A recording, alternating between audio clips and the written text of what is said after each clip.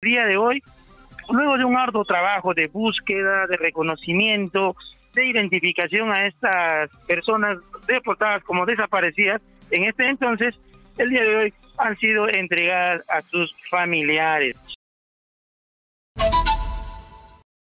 6 de la tarde para poderles informar que el día de hoy la Dirección General de Búsqueda de Personas Desaparecidas del Ministerio de Justicia y Derechos Humanos, el Ministerio Público y con el acompañamiento del personal de salud de la Direza Huánuco han hecho entrega a, a sus familias los restos óseos de 10 personas que habían sido reportadas como desaparecidas. Esto durante el eh, conflicto interno que hubo entre el año 1980 y 2000, la guerra civil interna que tuvimos en, nuestro país.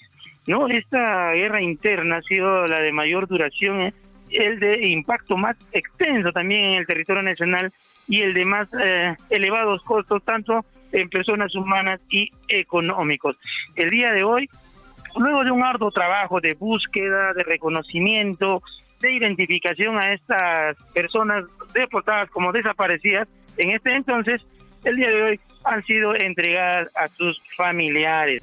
Entre ellos está Guido Lastra Martínez, Iduvino Lastra Malpartida, Juan Mateo Lastra Malpartida, Grover Gómez Ampudia, Religia Rufino Chogas, Nidas Chogas Cántaro, eh, Priscila Tadeo Rufino, Edmundo Niño Morales, Nemesio Ordóñez Mazgo, Teodoro Príncipe Valentín. Estos fueron los las personas que en su momento han sufrido pues estas consecuencias de la guerra eh, política interna en nuestro país. Eh, la Dirección General de Búsqueda de Personas Desaparecidas ha indicado que van a continuar en los próximos meses, días, haciendo este tema de búsqueda, eh, identificación y entrega de restos óseos a sus familiares que aún, que aún buscan a estas familias que han perdido la vida de manera cruel, tanto por el terrorismo, otras a veces por el ejército. En el momento no se sabía en qué enfrentamiento se encontraba.